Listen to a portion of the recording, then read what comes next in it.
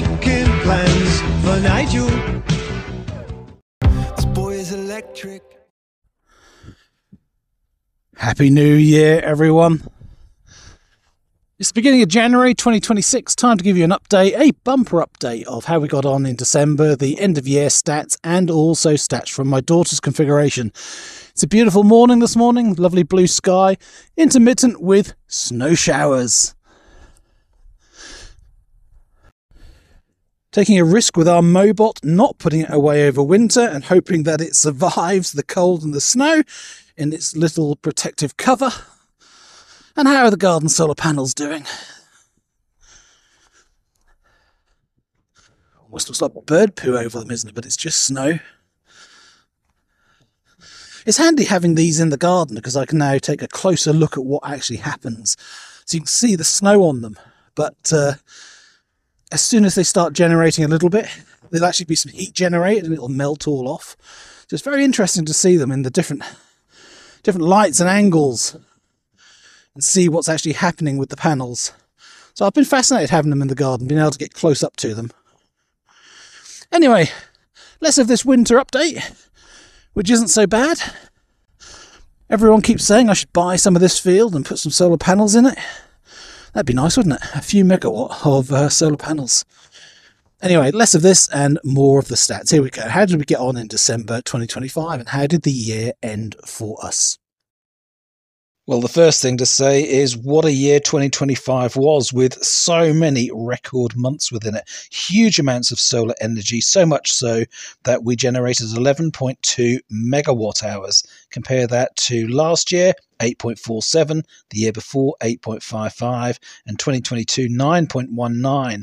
So 11.2 is just massively more than any other year, partly because we've had the garden solar panels installed, but partly because it was such a good solar year. The extra solar generation and the increased usage of battery storage to export has meant we've massively increased the amount of export this year. Last year we exported 7,330 kilowatt hours. This year, 11,342. A massive increase. Yet import from the grid in 2024 was 7,002 kilowatt hours. This year, 2025, 7,200. Very, very similar. So our usage is the same. Our export and generation have both massively increased this year. December's generation, though, has been very interesting. 305 kilowatt hours, it says here. This is the value from Home Assistant. And it doesn't look too bad. Quite a few days around 20 kilowatt hours, quite a few days with hardly anything with bad weather. To be expected. What is 305 kilowatt hours? How does that compare? Comparing to previous Decembers, we can see that actually December 2025 has been the best one ever. The previous high, just for our 3.9 kilowatt Solis array, was 130 kilowatt hours. We beat that, 145 kilowatt hours, so that's a good 10% more. And it's the same for the other arrays. Plus, we've added more solar arrays in that time, so 304 is a new record.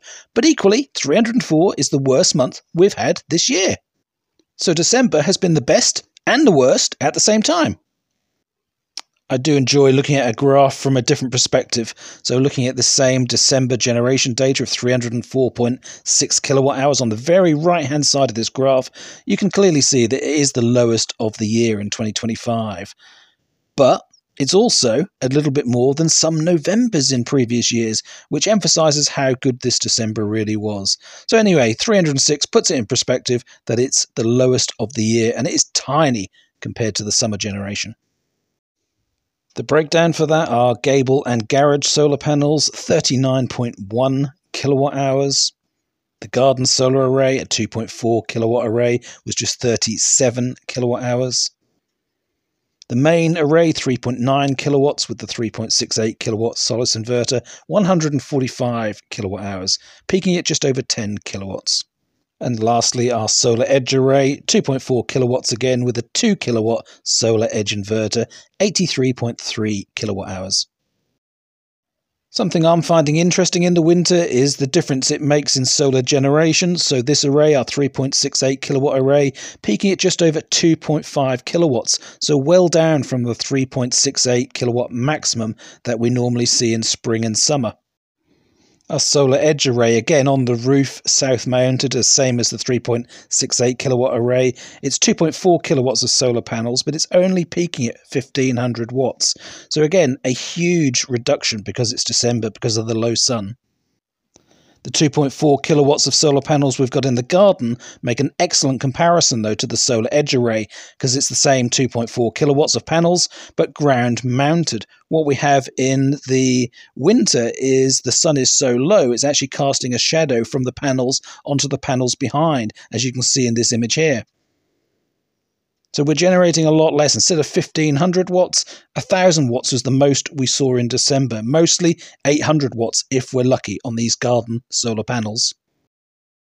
The three panels, 330 watts each, so a total of 1.1 kilowatts, they always surprise me on the garage that they do quite well. So even in winter, look, we're generating, what, nearly 800 watts, call it 700, 750 watts from a 1.1 kilowatt array.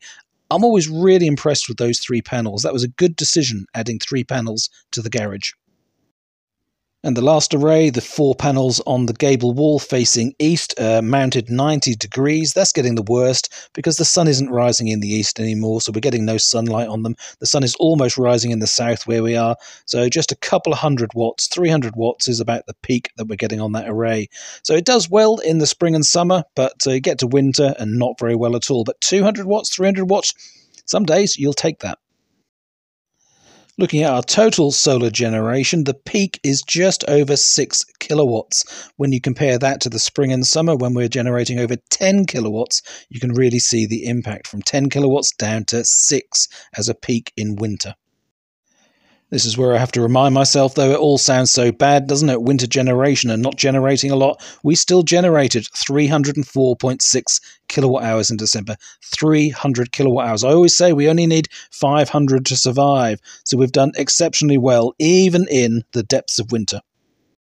So, how have we done? 845 kilowatt hours imported in December at a cost of £74.22 we exported 506 kilowatt hours, and that's at 15 pence a kilowatt hour. So we had a credit of 75.91.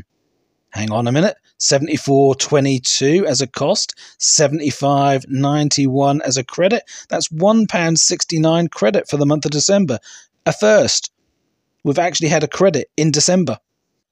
That tells me that at this level of export from the battery, we could have a credit every single month of the year every single month. Where I plan to only have credits in the summer and pay for the winter bills, we've got no winter bills at all with this level of battery export. Battery usage then, this is our Victron inverter controlling about 30 kilowatt hours of Pylontech batteries. We went down to 20% in the first couple of days of December. Other than that, 30 or 40% is all we went down to. So our battery usage is remaining quite good. We're not using all of the capacity, and yet we're still uh, exporting enough to get a credit for the month. This chart shows it a little bit better with the lines rather than the blocks, I think. Moving on to something completely different now temperatures. This chart, I think, tells a nice little story. The pink line at the bottom is showing the loft temperature as close as possible to the outside temperature, somewhere between 3 and 4 degrees and about 12 degrees over the month. But what's interesting is the comparison to the dark blue line above. That's our lounge temperature, going up to 25 degrees some days. We've had it quite warm in there. And then the hall, we have the doors open between the lounge, the hall, and the kitchen. So you can see that the hall is quite warm as well, but not as warm as the lounge. And the kitchen, which has no heating at all, this is the light blue line in the middle, no heating at all, and yet it's still a very, very comfortable temperature in there. The heat goes through into the room. So it's working very, very well for us not having a radiator in the kitchen, which does surprise me, but all it takes is leaving the door open.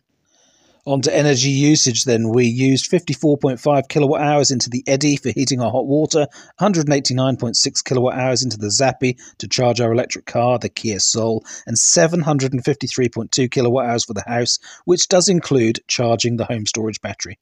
Rather than showing you the individual usage for the month of December, I thought this time I would share the number of kilowatt hours per individual device for the entire year.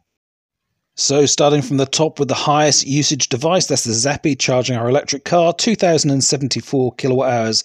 Toshiba air conditioning, that's heating and cooling in the summer, 1003 kilowatt hours. The kitchen sockets, washing machine, oven, 655. The Eddi heating or hot water, 585. The television, can you believe, 242 kilowatt hours. Let's skip over the Mixergy numbers because they're actually incorrect. The main induction hob 184 kilowatt hours, the ensuite radiator heater 172 kilowatt hours, heating the hot water from solar, that's the top ups during the day, 166 kilowatt hours. Our internet hubs and routers 163 kilowatt hours, the cloakroom radiator 146 kilowatt hours, the cloakroom infrared radiator 78, the Zappi from solar, I hardly ever charge from solar now, 56 kilowatt hours, the laundry drying clothing indoors, that's 26 kilowatt hours. The guest radiator, 27 kilowatt hours. We don't have guests very often. The bathroom radiator, 13. The Yuka mower, 11 kilowatt hours. So you can see we're down to the very, very low levels now. Dehumidifier, it's been a really good year for humidity, just 6 kilowatt hours for the year. But how did we get on with my daughter's new solar install that we've recently done with Heatable 5.5 kilowatts of REA solar panels on her roof? How has that got on? Installed and working fully on the 9th of December, it generated 106.1 kilowatt hours. So, pro rata that out for the entire month, if it had been installed and ready on the 1st of December, that would be 149 kilowatt hours. 106 kilowatt hours, that's not too bad at all, especially considering the first month of generation, as you can see here, was less because we had the scaffolding still up. And as soon as you take that down, you get a little bit more generation. But compared to one of my solar arrays, my 3.9 kilowatt array, compared to my daughter's 5.5, I'm generating 145. With a smaller array, she's generating about 149 kilowatt hours. My daughter's install has more obstacles, more houses close by, and also some trees in the back garden that are giving some quite significant shade. The 14 kilowatt hour Alpha ESS battery that we installed, that's been doing quite well as well. It's been discharging, I don't know, uh, 10, 12 kilowatt hours a day, reducing her bills. The state of charge, we've been charging it fully some days, not others, and it's run out of charge on just three days. So we've done quite well sizing it for December and it only ran out for three days. My daughter consumes more energy at her house than we do, nine and a half megawatt hours for 2025. But as you can see, the annual bill, two and a half thousand pounds roughly, and December has massively reduced. This bodes well for the rest of the year. If December is this good, then the rest of the year is going to be even better. Her bill for December, £103, but if we pro rata that out, that should be about £80. This gives six and a half year payback. That's the estimate at month one. And unbelievably, I can finish this video uh, one hour after doing the introduction. This is the scenes in Norfolk. Uh, it started snowing quite heavily, covered the solar panels, no generation whatsoever. Thank you so much for watching. Hope you enjoyed this video, and don't forget to leave me a comment down below. Thanks again. See you again soon. Bye for now.